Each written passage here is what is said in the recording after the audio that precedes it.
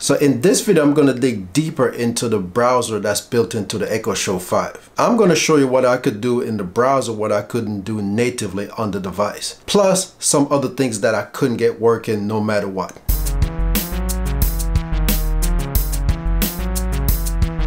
Hey everyone, how y'all doing today? So today I'm gonna deep diver into the browser. As a matter of fact, I've been playing with the Firefox browser and the Silk browser. And to tell you the truth, the Silk browser has more feature and seems to be a better browser than the Firefox on this device. So I'm gonna show you some things that you can do with the Silk browser. Okay, so let's start up the Silk browser. And you know, to start it up, you'd have to tell her to start the app.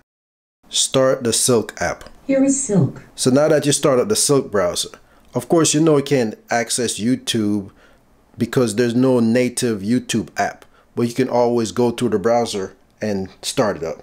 To get into the YouTube mobile site, I can actually search for a video. So now that I steered you to my channel so you can see one of the videos that I want to promote, that uh, I can just go through and find one of those videos. And there's one of my latest videos I did that you can just click hey on and start playing. Today? So I want to cover a feature of WhatsApp that you probably don't know about. You can actually save the now, now that the video is playing, you can see that you have all the videos on the side that you can watch. But say you want to watch this video full screen, you can just click the full screen button and it fills up the screen. Text messages into a text file that you can print out and I'm going to show you how to do that in this video.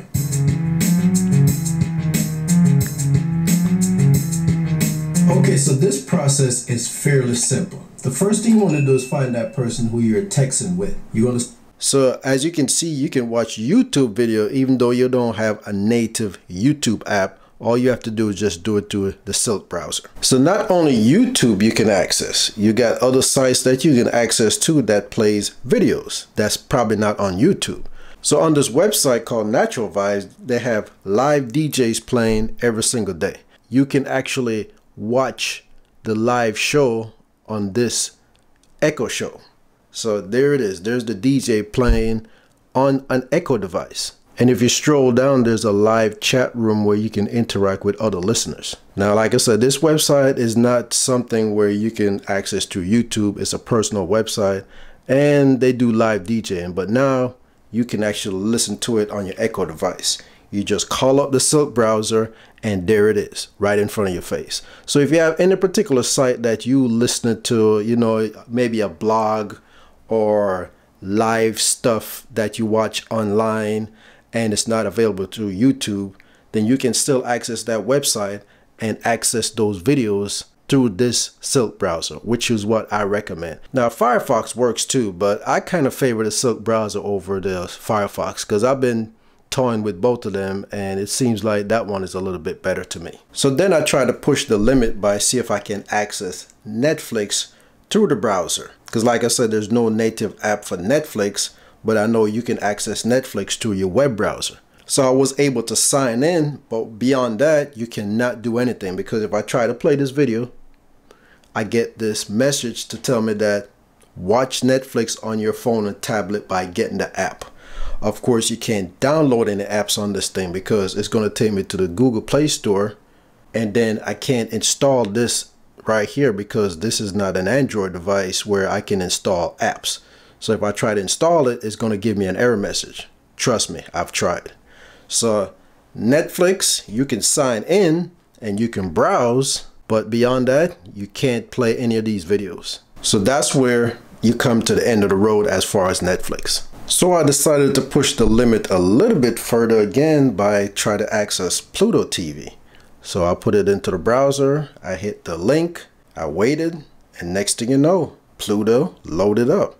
It's playing in the browser. So it works. So you can see Pluto is actually playing. So I can make it full screen by hitting the little full screen icon right there and it's going to fill up the screen as much as possible. A lot of these videos that I see when you make them full screen doesn't play at full screen. There's always black bars on each side, the left and the right. But it's full enough to where you can see a better picture. Now if you want to bring up the guide, you know you got to hit that yellow icon right here in the corner which brings up the guide that you can actually stroll through and find something else to watch. Click on it, wait for it to load. It's not as fast as it is like on your Fire Stick. Now once you start a Pluto TV, it tends to take over the entire screen. So you don't see the menu bar and you can swipe down and go home but you can't get out of the silk browser that easy. So to get out the best thing to do is to make this full screen and then tap it one time where you see it shows URL bar and then there you go. So now you can get out of it and you can go back to the actual home screen of silk like that. You can see where you can see your bookmarks again. It's hard to get out of it so be careful when you start it up. And it doesn't run silky smooth. There's a point where it's hiccuping and uh, guess the processor that's installed inside of it is trying to keep up with the encoding of the video and all that stuff. So you might get a little hiccup every now and then while you're watching Pluto TV, but it works. Okay, so those are the ones that I've tried. And I know there's some other ones out there that I haven't tried yet, like Hulu and PlayStation Vue. But I'm going to leave those up to you since I don't have an account with those services to see if they work. So if you have any of those services or any other services, leave it in the comment and let me know if it works or if it don't work. And I did get my Echo Show 5 in, so I have the bigger screen now and I will be doing some upcoming videos soon to see how much more information to get on screen on the Echo Show versus the Echo Show 5. Alright, so I want to thank you for taking the time for watching this video. I look forward to see you next time. Have a good one.